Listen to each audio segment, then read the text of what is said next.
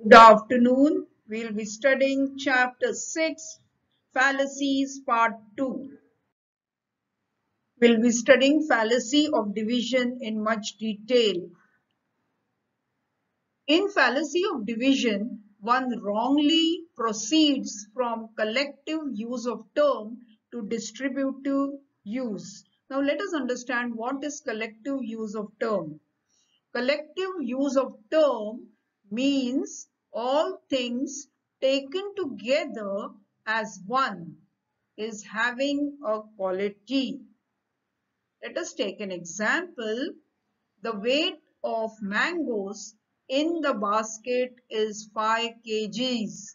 Here all the mangoes taken together are 5 kgs. Their weight is 5 kgs together collectively.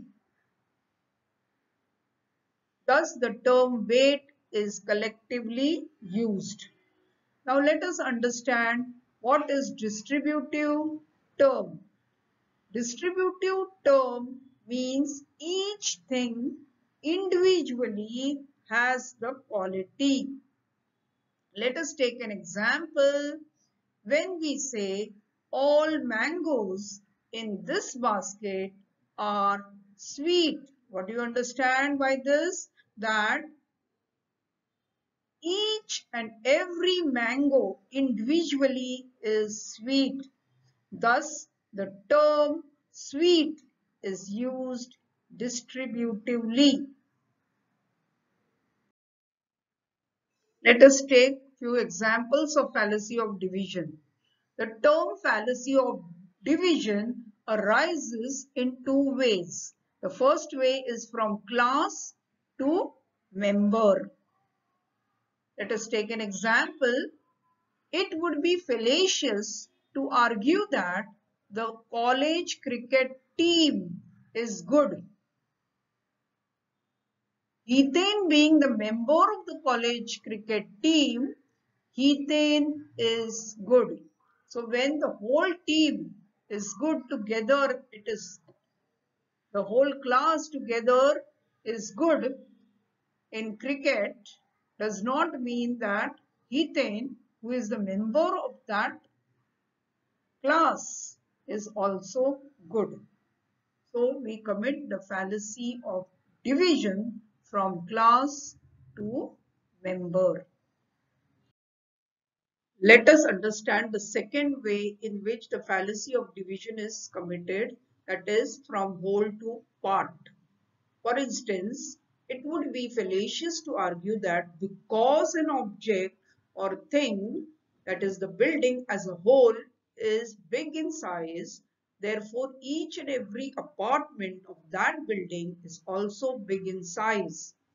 Then we commit the fallacy of division here because what is true of the whole building that it is big in size need not be true of each and every apartment or flat in that building because the size of the building depends upon the number of flats also not only the size of the flat.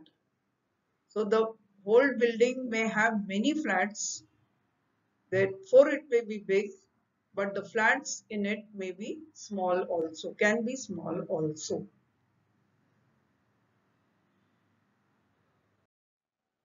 Now let us understand the definition of fallacy of division.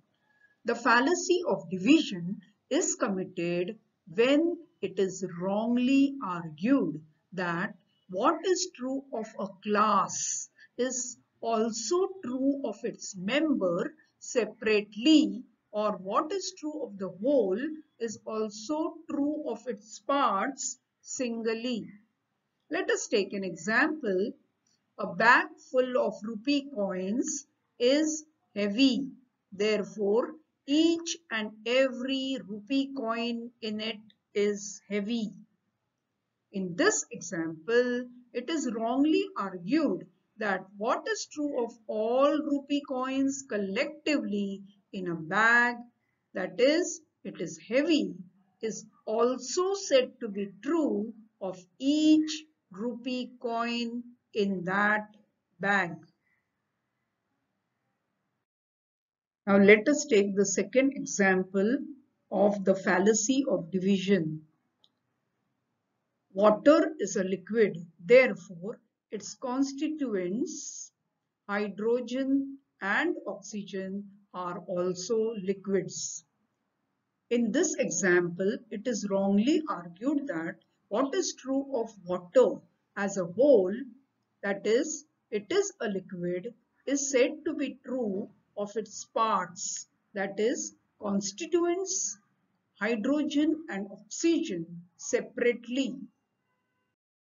So we have understood the fallacy of division that it is committed in two cases from collective use of term to distributive use of term that is from class to member and from second case from whole to part.